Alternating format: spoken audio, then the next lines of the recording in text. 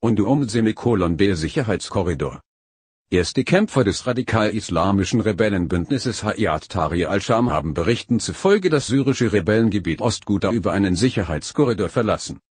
Nach Angaben der syrischen Beobachtungsstelle für Menschenrechte verließen 13 Kämpfer von Hayat Tahrir al-Sham, HTS, am späten Freitagabend mit ihren Familien Teile Ostghoutas, die sich unter der Kontrolle der ebenfalls radikal-islamischen Gruppe Charge al-Islam befinden Trotz andauernder Kämpfe erreichte unterdessen zum zweiten Mal binnen einer Woche ein Hilfskonvoi die schwer umkämpfte Region. Die staatliche Nachrichtenagentur SANE berichtete, dass eine Gruppe von Kämpfern das Gebiet über einen Sicherheitskorridor bei Al-Wafedin verlassen habe. Das syrische Fernsehen zeigte Aufnahmen von Menschen, die einen Bus besteigen. Die deutsche Presseagentur erfuhr aus regierungsnahen Kreisen, dass vier Busse am späten Abend in der Gegend um Duma angekommen seien um Kämpfer und ihre Familien nach Idlib im Nordwesten des Landes zu bringen. Scheich al-Islam hatte zuvor von einem Übereinkommen mit den Vereinten Nationen und anderen Organisationen berichtet, das es den HTS-Kämpfern erlaube, die Gegend zu verlassen. Dort soll es etwa 240 Kämpfer des Rebellenbündnisses geben. Zuvor waren 13 Lastwagen mit Lebensmitteln für 12.000 notleidende Menschen in der Stadt Duma eingetroffen, wie eine Sprecherin des UN-Nothilfebüros OCA erklärte. Allerdings beklagten die UN, Beschuss habe die Hilfslieferung bedroht.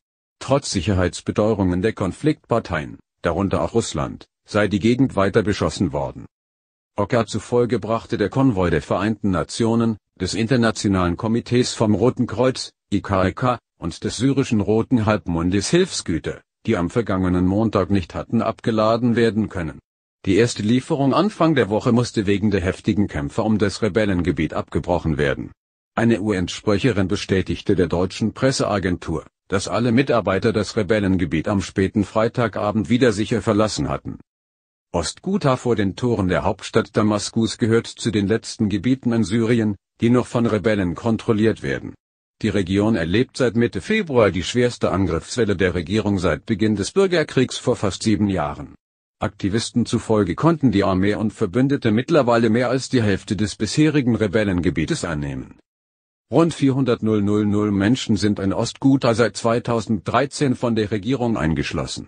Die humanitäre Lage ist katastrophal. Es fehlt an Nahrung, Trinkwasser, Medikamenten, medizinischen Gütern und Strom. Seit Beginn der Offensive vor gut drei Wochen sind Ärzte ohne Grenzen zufolge mehr als 1000 Menschen in dem Gebiet getötet worden. Eine vom UN-Sicherheitsrat geforderte 30-tägige Waffenruhe für ganz Syrien ist in Ostghouta ohne Wirkung geblieben. Die Gewalt geht jedoch während einer von Russland angeordneten täglichen fünfstündigen Feuerpause zurück. Hilfsorganisationen beklagen allerdings, die Zeit reiche für Lieferungen nicht aus. Russland ist einer der wichtigsten Verbündeten der syrischen Regierung. Liebe Leserinnen und Leser, leider können wir bei bestimmten Themen und bei erhöhtem Aufkommen die Kommentarfunktion nicht zur Verfügung stellen. Warum das so ist, erfahren Sie in einer Stellungnahme der Chefredaktion. Aktuelle Leserdiskussionen und Kommentare finden Sie auf unserer Übersichtsseite